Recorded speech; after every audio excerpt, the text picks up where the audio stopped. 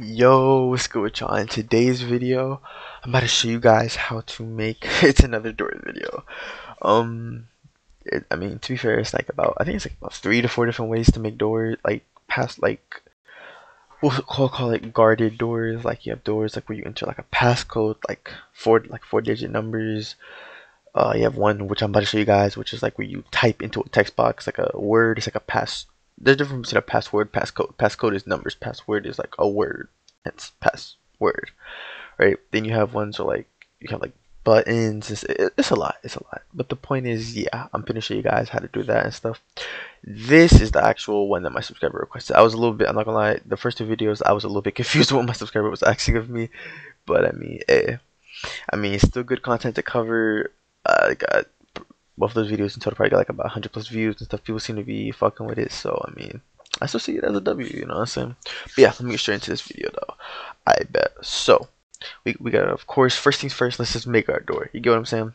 We, we just insert a little part real quick, you feel me? Like a little block. We go over here and then we scale it. Just make it like a door, you feel me? You gotta do too much with it. Just make it look like a door. Scale it just a little and oh, didn't do that it down so like a door. We'll make it like a nice little brown because that's what door does the color. Well, it's kind of the color, but eh, it don't matter. We're gonna make a wood door, right? You guys don't have to do that specific thing, but make sure you do anchor the door though, right? Then of course name it, name the part door, right? Then we're gonna insert a remote event into replicated storage, and we're gonna call this remote event password event, right? Then we are going to head on over to Starter GUI and insert ourselves a screen. Insert a screen GUI. Yes, we're to rename the screen GUI to password GUI. Right. We're then to insert a text box, and then we're going to call this our password text box. Right. Then we can put it like right here. Um we can make the text rich, scale the text, uh, yeah, that's about it. Oh, bold it, you know. Um, and then that's really, yeah, it looks good. Then we can insert, well, eh, I don't know. I kind of don't like the what. Uh, I prefer like a, oh, didn't I mean do that. I prefer like a darker color, you know, I like a, like a, yeah, I prefer like a gray rather than like a just bright white, you know. Um, then we insert a local script into the uh, text box. We'll call this our password script, right? Of course, you're going to reference the remote event by doing a local password event, then equals game dot replicated storage dot uh, password event, right? Then we're going to make another variable. It's going to be local password GUI. This is how we're going to make it. Uh, wait, oh, my fault actually.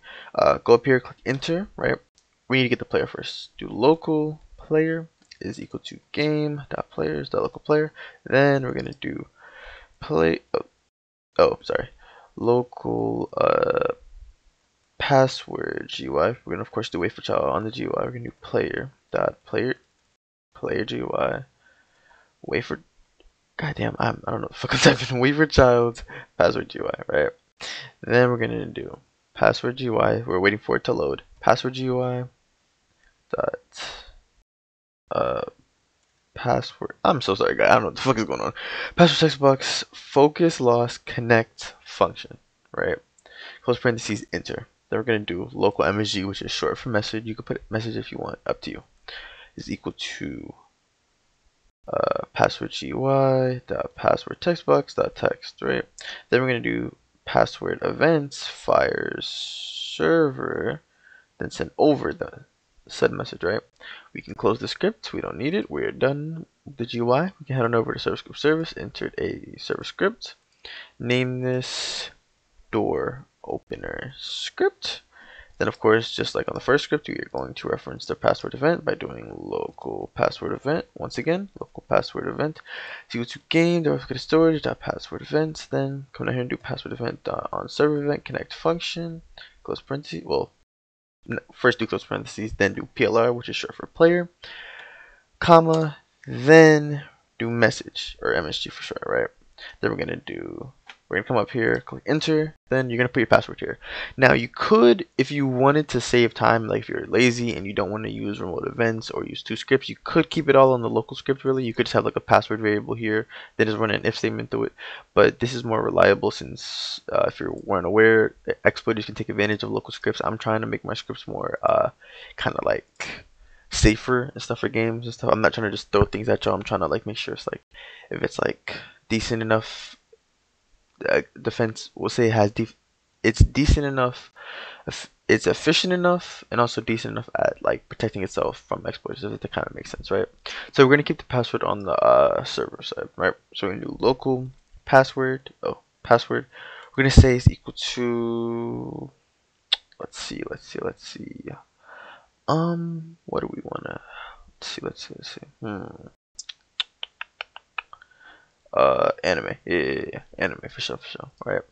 So what we'll do is we'll run an if statement. We'll do an if statement I should say. We'll do if message is equal to password right?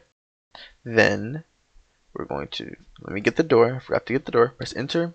Then local door is equal to game dot workspace dot door right? Now we'll do door dot transparency is equal to uh, one door.can't collide is equal to false. We'll do wait two seconds.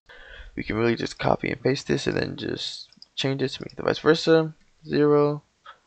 And then set this to true. And boom, we are done. Just like that. Reminder that all these scripts will be in the description, so no need to worry.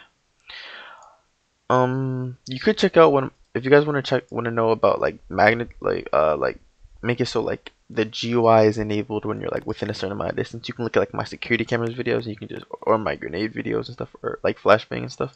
You can see uh, the difference. I mean, not the difference. You can see uh, how to do that. But yeah. So we come up to the door. Well, we don't have to be at the door, but point is we're in front of the door, right? Type if we type in whatever, enter. The remote event won't fire, right? The door won't open, right? Now if we type in the password, anime, boom, the door opens, and after two seconds, boom, the door is back, right? Random stuff, random stuff, random stuff, nothing. Anime, boom, right? So of course, obviously, if you wanted to, obviously, you would obviously change whatever password is, the variable password is, to match whatever password you want it to be, right? But yeah, that's how you make a password, a door with a password uh, GUI and stuff. I hope the video was helpful to my subscriber, helpful anyone else watching. If the video was helpful, leave a like, subscribe. Links to join my Roblox group and Discord can be found in the description. Thank you guys for showing so much love and support on the channel and stuff. Let's hurry up and get to 400 subscribers. And yeah, I'll see you guys.